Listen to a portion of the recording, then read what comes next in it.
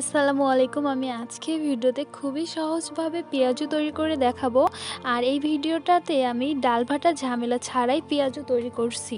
তো চলুন ভিডিওটি দেখিনি আর রেসিপিটা ভালো লাগলে অবশ্যই আমার চ্যানেলটিকে সাবস্ক্রাইব করবেন।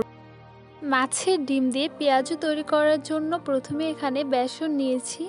তারপর এটা হচ্ছে আলু আমি কুচি করে কেটে নিছি। তারপর এটা হচ্ছে পেঁয়াজ, রসুন বাটা, আদা বাটা আর মরিচ কুচি, ধনিয়া কুচি আর এটা হচ্ছে মাছের ডিম। যে কোনো মাছের ডিম দিয়ে আপনারা এই রেসিপিটা তৈরি করতে পারেন। আর রেসিপিটা তৈরি করা খুবই সহজ। এখানে একটু লবণ দিচ্ছি পরিমাপ মতো। লবণ দেওয়ার পর সবগুলো একসাথে মেখে নিতে হবে। এখন এটা আমি মেখে নিচ্ছি আর আপনারা চেষ্টা করবেন হাত দিয়ে মেখে নিতে, তাহলে সব কিছু ভালোভাবে মিশে যাবে।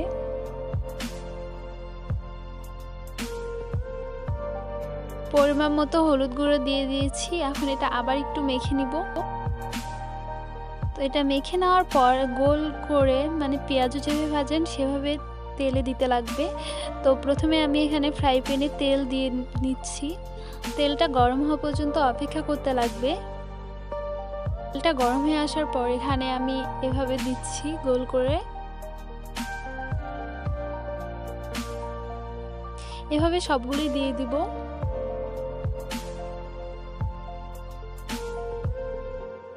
আমি এখন এগুলো নেড়ে নিচ্ছি, নইলে এগুলো পুড়ে যেতে পারে।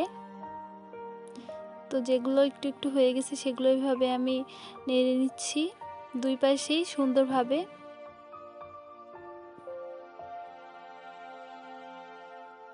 দেখতেই পাচ্ছেন, এভাবে কিন্তু খুব সহজে ডালবাটা ঝামলা ছাড়াই পেঁয়াজও তৈরি করে নেওয়া যায়। এগুলো আরও কিছুক্ষণ আমি এভাবে নেড়ে নিব।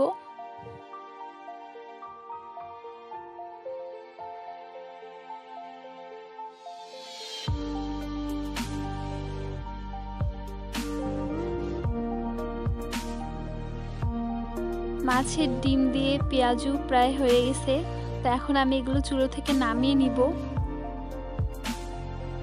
এভাবেই খুব সহজে মাছের ডিম দিয়ে পেঁয়াজু তৈরি করে নেওয়া যায়। আর আমার ভিডিওটা যদি ভালো লেগে থাকে তাহলে অবশ্যই আমার চ্যানেলটিকে সাবস্ক্রাইব করবেন।